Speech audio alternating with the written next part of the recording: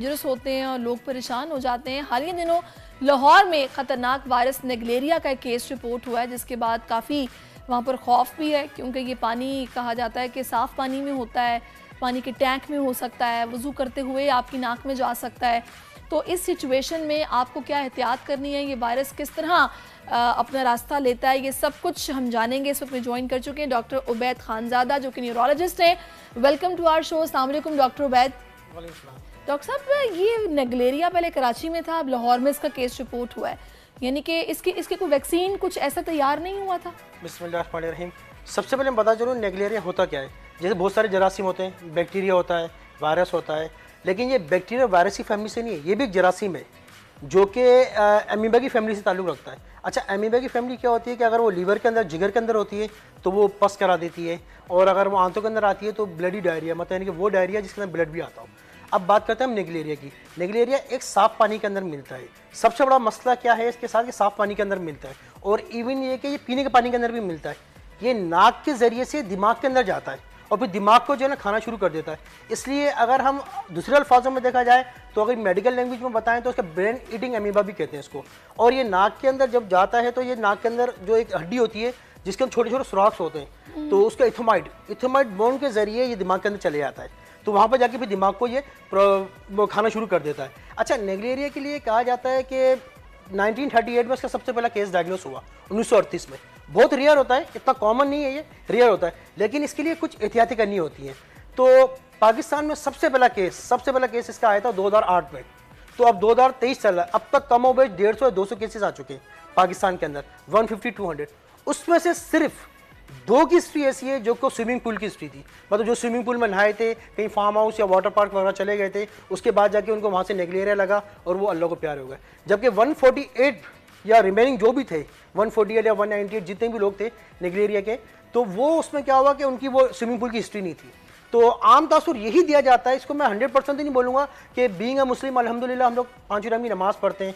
तो पाँचों टाइम वज़ू भी करते हैं। तो वज़ू करते हैं तो नाक में पानी भी डालते हैं। एक सुन्नत अमल है ये। फ़र्ज़ तो नहीं बोलूँगा सुन्नत अमल है ये। तो उससे जब वो नाक के अंदर पानी जाता है तो फिर वो नाक के ज़रिए ऊपर जा सकता है। नाक की हड्डी से ये ऊपर जा सकता है जो कि ब्रेन को डिस्टर्ब कर सकता है। अच्छा जब ये एक मरतबा हो जाता है ना तो इसकी प्रोग्नोसिस बहुत पुअर है।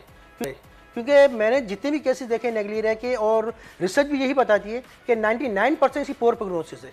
मतलब यानी कि इसके पेशेंट बचते नहीं है। और अगर एक आध बच भी गए, इक्का दुक्का बच भी गए तो मैं ख्याल में उनकी एक या दो पेशेंट होंगे जो कि बच गए। बाकी 98 या 99 परसेंट लोग जो हैं अल्लाह को प्यारे हो जाते हैं।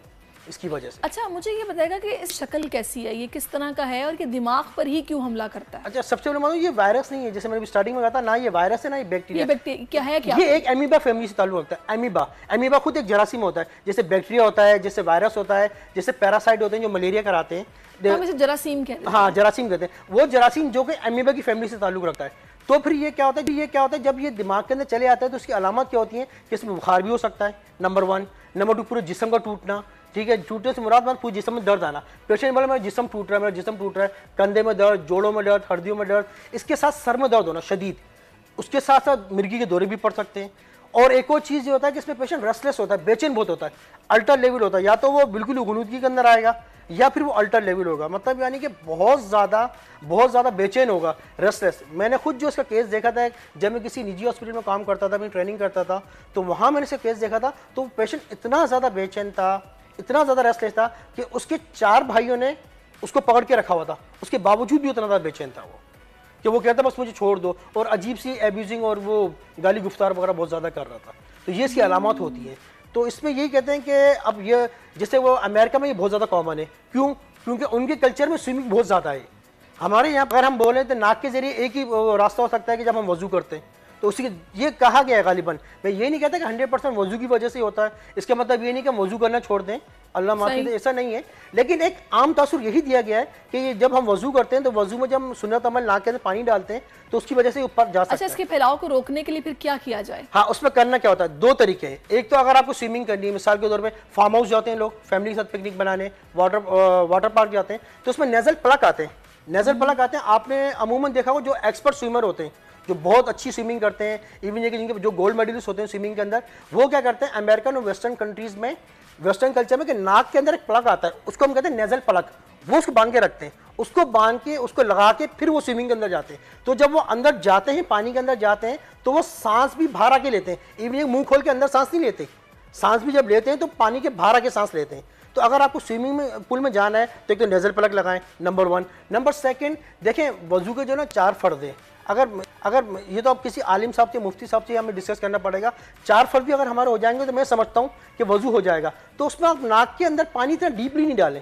थोड़ा सा पानी डालें, फिर उसके बाद कोशिश करके जो पानी डाला, उसी को निकाल लें वही पानी आपका निकल जाए, ताकि वो अंदर तक नहीं जा सके।